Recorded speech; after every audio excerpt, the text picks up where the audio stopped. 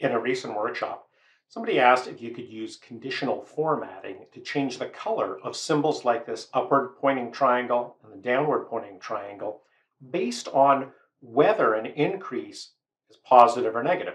Because an increase, for example, in revenue would be positive. So in that case, they wanted the upward pointing triangle to be green because that indicated good performance. But an increase in expenses, for example, might not indicate good performance. And so you might want that to be red. Is that possible? Well, it took me a lot, little while to figure it out. And yes, I figured out how to do that. Let's start by looking at, you see that here, I've got the green upward pointing here and the red upward pointing there, but they're different numbers. So let's walk through how we set this up. So the first thing is, is to set up these particular symbols into cells.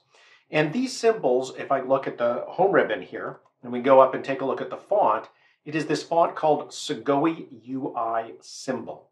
That's a great font because it has a lot of good characters to use. I'm using the triangles here, but it has many other symbols you could use. So I'm going to go down to a new cell here, and I'm going to go to the Insert ribbon, and I'll move over to the far uh, end here, and I will go to the symbols, and I'll say Insert a symbol here. And what I have is I have the dialog box for the symbols, and I have the font that I can choose. So I've chosen Segoe UI symbol.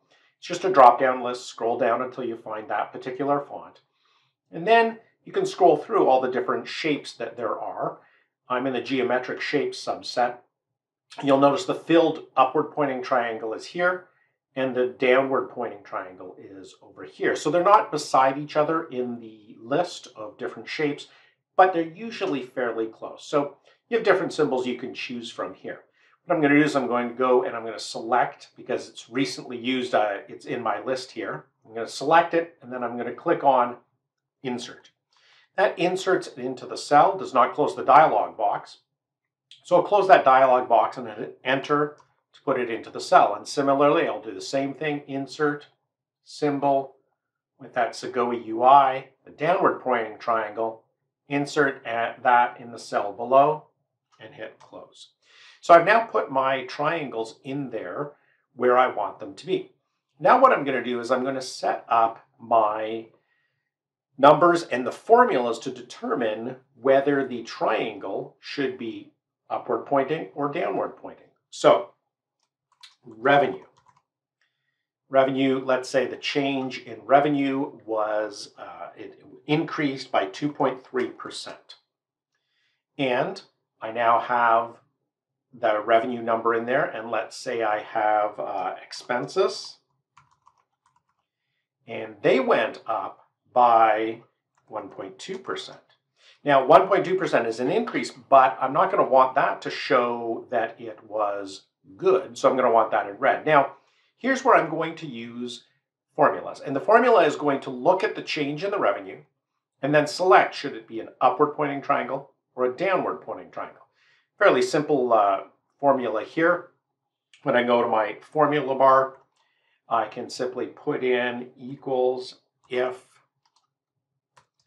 my cell right beside it, so that's going to be B14, is greater than 0, then what I want is I want it to use that upward pointing triangle. So I want it to use this cell here.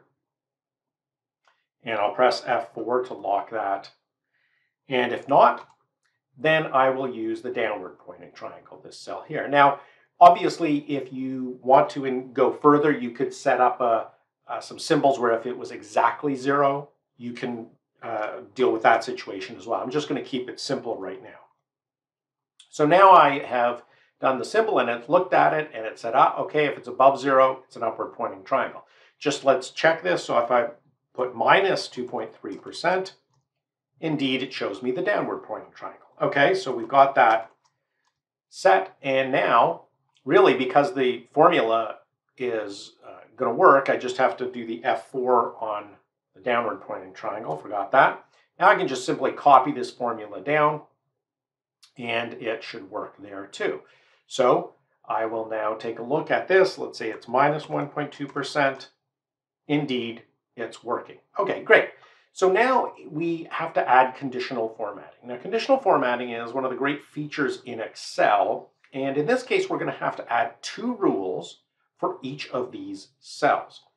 Conditional formatting is on the home ribbon, and I'll go to the first cell that I want to apply conditional formatting to, which is the revenue symbol.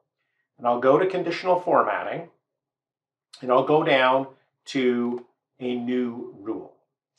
Now, the new rule allows me to say format the cells where I want it. Now, I don't want to use format only cells contain because the cell value isn't in this cell. It's actually in a different cell. So here's where we have to say use a formula to determine which cells to format.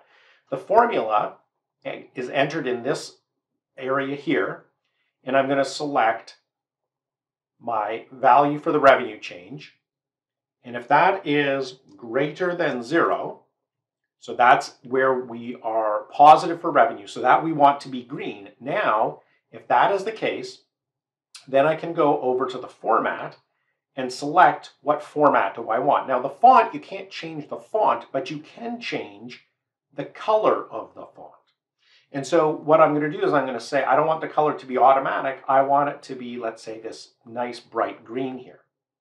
I'll click OK. I'll say OK for this rule. And notice it changes it to green. Perfect. But I need a second rule to address the issue of what if it is below zero. I, I don't want it to be green. I want it to be red.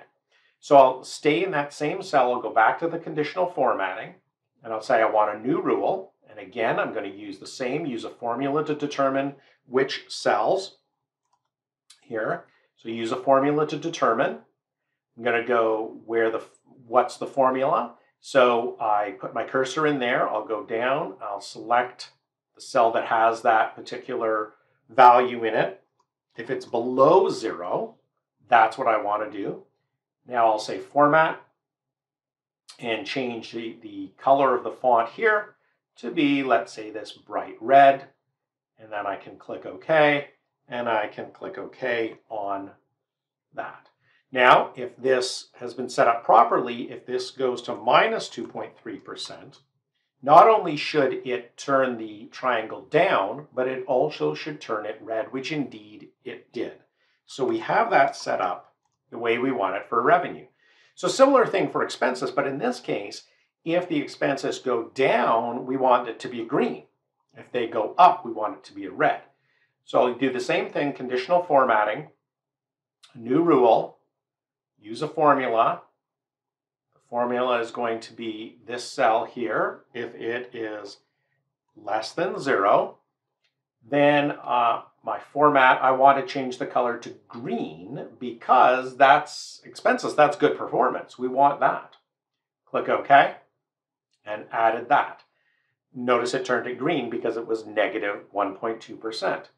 So I add my second rule, which says if this value is greater than zero, then I want to format the color of the font to be my red. And we'll add that. So if this is now positive 1.2%, we see that it changes. And for each of the cells here where we have our triangles and where it's doing the conditional formatting, we can always check. We go to conditional formatting and we go to manage rules. What it does is it shows us the rules, and you'll notice here formatting rules for current selection, which means just the cell we've selected. And so here we see our formulas, we see what's going to change in the formatting, it's just the font color, and which cell that applies to. So this allows us to always check that the formatting is set. Now, when the, the data gets updated, the direction of the triangle and the color of the triangle automatically change because we're using a formula for which triangle is being selected, and we're using conditional formatting to change the colors. So that's how you can apply conditional formatting, color conditional formatting, for these symbols in Excel. If you found this video helpful, there are three things you can do to help me out. First, click the like button below the video on YouTube. Second, leave a comment with any questions or feedback. And third, subscribe to my channel. Check out my websites and other videos with more tips and advice. Thanks again for watching.